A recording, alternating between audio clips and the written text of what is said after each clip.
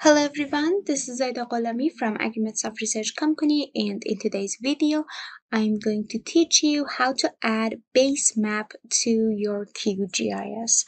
So first I will uh, open my QGIS. The version I'm using currently is 3.18.3 and that's the most stable version which you can download uh, using QGIS website.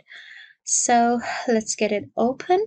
Uh, you can see the you know welcoming uh, window first opening, and then for installing the the plugins for for working with base maps, you should go to plugins window in here. So I click on that and then manage and install plugins.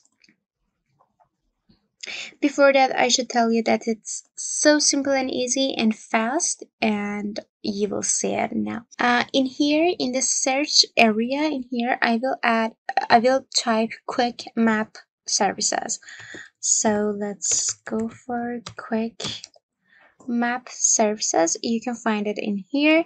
I double click on that and then you can see the install plugin option in here. So I click on that then using the internet. It just downloads if it needs and then installs. You could see the message which came up in here. It said uh, it's installed successfully. So I close it and then if you go to web button and in quick map services you can see the plugin is installed and you can see all the options. Probably if you're for the first time installing this quick map services you do not see these options. What you should do you should go for settings in here. And then in more services click on that you can see get contributed pack. Click on that. Last version of contributed package was downloaded. Okay. And then in visibility, you can check or uncheck any of these groups which you want to have or you do not to have. For example, I do not want Waze, maybe I do not want Yandex or um, these kind of things. And let's say I save it. And then I go for web again quick map services. And now I want to add a base map layer.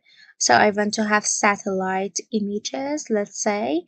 My favorite one in here is Google Hybrid. So you could see the global uh, satellite image and then I will zoom in to my let's say study area which is placed in Iran and Nishabur and I will go in here.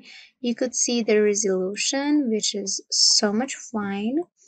And in my opinion this uh, uh, this QGIS base map is so much easier to work with in comparison to uh, ArcGIS. Okay, so it's so much faster and it's so much easier and user friendly I think now you can add another base map so let's say I want to have also let's say I disable this one and go for um, Google Satellite and Google Road.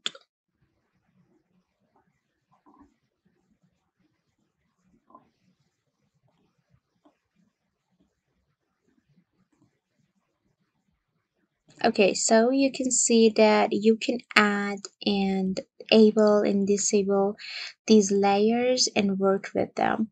So I guess that's it for today's video. I hope you learned something new. Please don't forget to give this video a thumbs up and subscribe to AgriMetSoft channel. I will see you in the next video and bye.